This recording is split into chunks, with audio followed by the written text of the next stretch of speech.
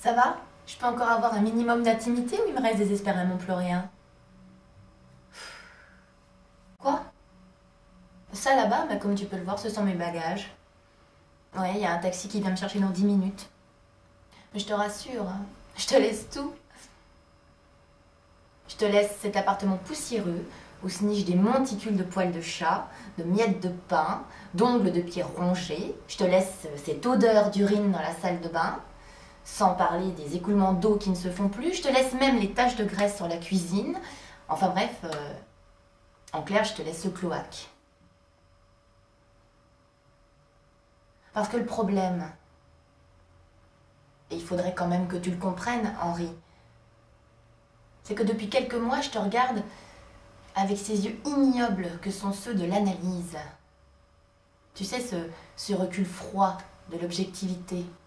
Oui, moi qui t'ai tant aimé. Fouf, envolé la magie. Je te regarde et je contemple tes éternelles crottes au coin des yeux, ton visage toujours mal rasé. Je contemple tes oreilles ensevelies de cire pour ne pas m'entendre. Et je contemple avec émerveillement tes vêtements abominablement troués, toi qui aurais tout le temps de les recoudre vu que tu ne fous rien. Alors malheureusement, tout ce qui me reste pour toi, c'est de la pitié. Et je ne suis plus charitable. Voilà. J'ai vécu cinq ans près de toi. Et j'ai l'impression que ça fait deux mois, tellement il s'est rien passé. Tellement tout a été monocorde, comme une de ces grandes journées grises et interminables qu'on peut vivre à Obnisque pendant l'hiver, et on préfère rester au lit et vraiment rien faire. En cinq ans, Henri, on n'a pas déménagé un seul meuble. On n'a pas fait d'enfants. On est parti en vacances toujours au même endroit. La seule chose qui a changé, c'est mes seins qui se sont affaissés et mes fesses qui sont devenues un peu plus molles. Ce sont les seules choses qui me font dire que j'ai vécu cinq ans auprès de toi, Henri. Et c'est la chute de mon corps qui me fait dire que ça signe un peu la chute de notre histoire. Quoi tes affaires? T'as pas compris, pauvre crétin, que t'étais viré? Mais tes affaires, mon pauvre C'est Roger qui les a jetées au garage, tu vois? Et en attendant, j'ai gardé la clé parce que tu me dois encore du flouze. Ah, ça te fout les jetons, hein? Putain, regarde, tu vois ça? Eh ben, profite parce que Walou, terminé, t'iras te branler ailleurs J'aurais tout de suite dû comprendre que t'étais un connard, un minable, une pauvre loque, une merde. Ta gueule C'est moi qui parle Roger me l'avait expliqué, puis quand tu t'es fait gauler en tirant la moto. Ah putain, mais pauvre blaireau, ouais Six mois de tôle que des emmerdes à cause de ta gueule, un peu plus on se faisait tous gauler. Je vais te dire un truc quand j'arrête ta gueule. Y a qu'un truc qui me donne envie, tu vois. Mais alors putain d'envie grave, quoi. Henri, je je t'ai donné rendez-vous chez ma mère parce que. Parce que je ne rentrerai plus chez nous. J'ai pris mes affaires pendant que tu travaillais. Mais, mais t'inquiète pas, hein, je, te, laisse tout ce que nous avions en commun. J'ai pris le strict minimum. Seulement, je voulais te voir pour te le dire et. Et, et puis, il faut que je te dise aussi. euh, J'ai rencontré quelqu'un d'autre, Henri. Non, c'est pas important comment il s'appelle.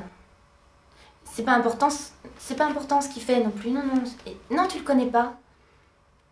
Et euh, de toute façon, il, il est beaucoup plus âgé que toi. Quoi? Que je cherche un père? Oui, si tu veux, je cherche un père. Qu'est-ce que ça veut dire? Quand une femme est avec un homme plus âgé, elle, elle cherche un père. Quand il est plus jeune, euh, elle cherche un fils. Et, quand ils ont le même âge, alors euh, C'est quoi C'est son frère? Les seules normes autorisées, c'est que l'homme ait 2 à 5 ans de, plus que la femme, c'est ça? Eh ben tu vois, nous on était dans les normes et, et pourtant euh, ça n'a pas marché.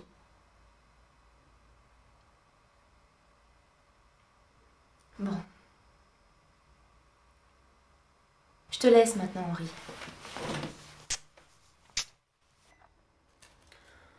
Henri, euh, j'ai longuement réfléchi à ce que tu m'as dit. euh,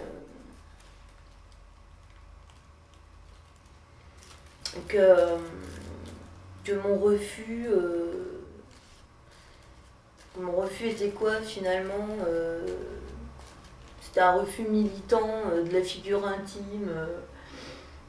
Comme, euh, enfin si j'ai bien compris, comme l'exaspération énonciatrice euh, de notre relation. Alors j'ai interrogé l'appartement, euh, je le trouve désespérément trop minimaliste à mon goût. J'ai questionné le chat, je dois dire, je comprends pas bien sa logique.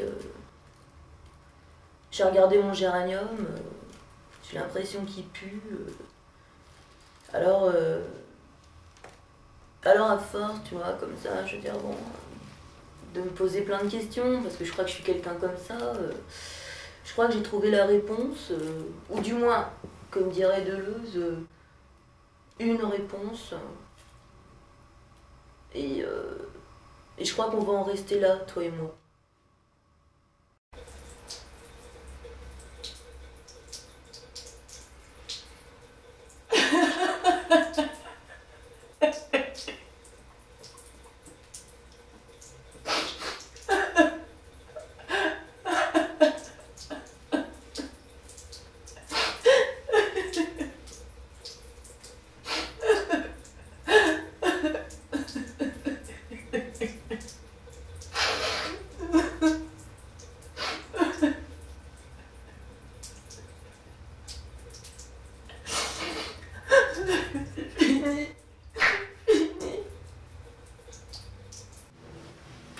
Ouais, je vais vous jouer ma dernière compo.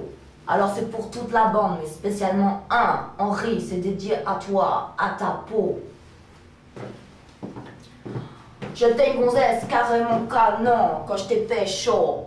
Vas-y, voilà la tête que j'ai maintenant, c'est pas beau. Regarde l'achetron dans la mort que tu m'as fait. Et qui disait que l'amour ça rend beau et tout. Le nique ta race, il mentait. Tu m'as pourri, je suis une grosse fille séchée. Tu m'as rien donné, tu m'as pas gâté. Mais tiens, Ziva, j'ai le sous l'œil qui est noir. Tellement je me suis fait yèche sur cinq ans au bord de la Loire. Je suis méchamment crevé, grave, que Hakim, il a cru que j'étais malade, because tout slim. T'as rien fait pour moi, tu m'as même pas respecté. Même un chien, je respecte plus ça. Et c'est pour ça que je vais me jeter.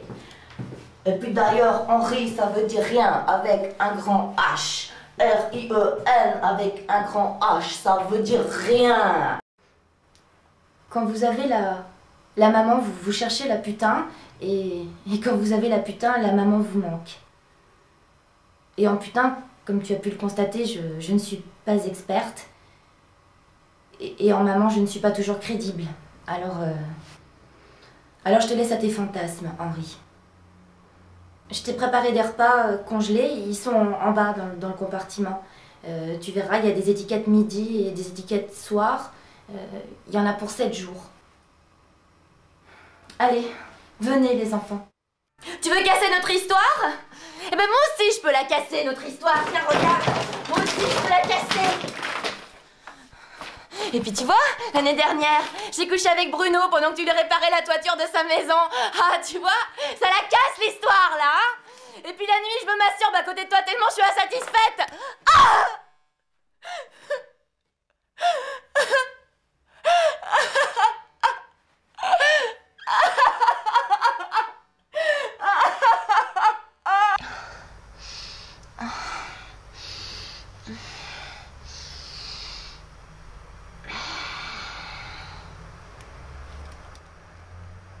Alors, Henri, mais alors qu'est-ce qui s'est passé encore? Non, mais ça n'est pas possible. hein. Ça, cela fait cinq ans que je n'ai pas d'orgasme avec toi. Et que je suis sûre que tu n'en as pas avec moi non plus. hein. Tu comprends bien que ton, bal- ton bazar, il est, il est, il n'est pas vraiment jamais en érection. Il est un peu dur, dur, et après il est mou, mou, voire, voire pétoyable. hein. Et ça, il faut dire que maintenant c'est la dernière fois que je fais l'amour avec toi. Allô, mon chéri? T'es en réunion? Non, t'inquiète pas, ce sera très rapide. Euh, J'ai reçu il y a deux jours euh, des résultats du laboratoire d'analyse. Et tu sais ce que tu m'as ramené de ton dernier voyage? Oui, une robe, mais en plus, tu, sais ce que tu m'as rapporté? Un appétigo. Ouais, alors je te remercie vraiment parce que t'aurais pu me faire un cadeau beaucoup plus sérieux. Et là, je viens de comprendre que ça fait 5 ans que tu joues avec la vie de tes pétasses et avec la mienne. Donc maintenant, tu te tais, tu prononces même pas un mot. Voilà, tu vas, tu vas sortir de ma vie calmement. D'ailleurs, t'as de quoi noter là hein Parce que j'ai mis tes affaires chez un garde-meuble, alors je vais te donner l'adresse. 145 rue de Charenton. 145. Voilà. Non, non, non, non, non, évite-toi le ridicule de revenir à l'appartement parce que j'ai fait changer les verrous. Ah, et puis, euh, ton compte courant. Euh, il faudrait que tu penses à remettre de l'argent dessus. Et, et puis à refaire ton, ton plan d'épargne logement parce que je l'ai cassé. Bon, je ne dérange pas plus longtemps, mon chéri. Hein Passe une bonne journée.